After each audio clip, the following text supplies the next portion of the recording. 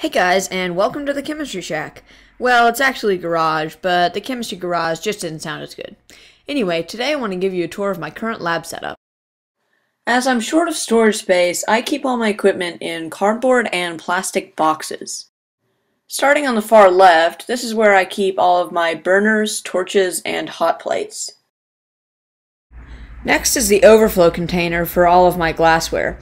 As you can see, I have various beakers, flasks, and storage containers. The third box contains graduated cylinders, rubber stoppers, assorted storage containers, test tubes, and other miscellaneous items.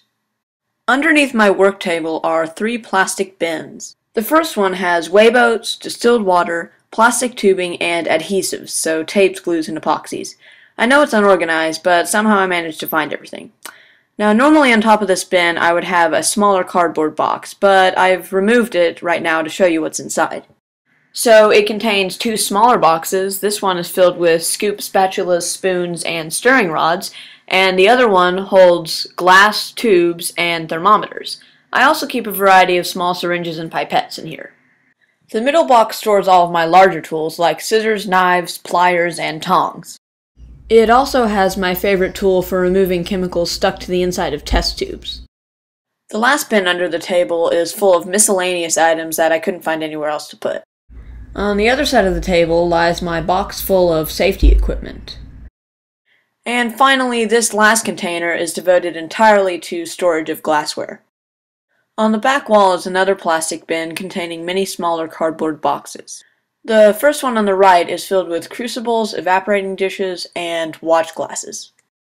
The one in the middle has my two scales, but they're currently buried under a bunch of Beral pipettes. This box is where I keep all my ring stand accessories, and finally, this last box is where I have all my filtration equipment. Most of my chemicals are stored on these four shelves alongside my mom's gardening supplies. Right now, it is very disorganized and extremely unsafe, as all the chemicals are stored right next to each other and not segregated by type. So it takes me about five minutes to actually find the chemical I need for an experiment. I'm hoping to install some more shelves on that back wall there so I can organize all my chemicals. Finally, these last three boxes contain chemicals from various online suppliers.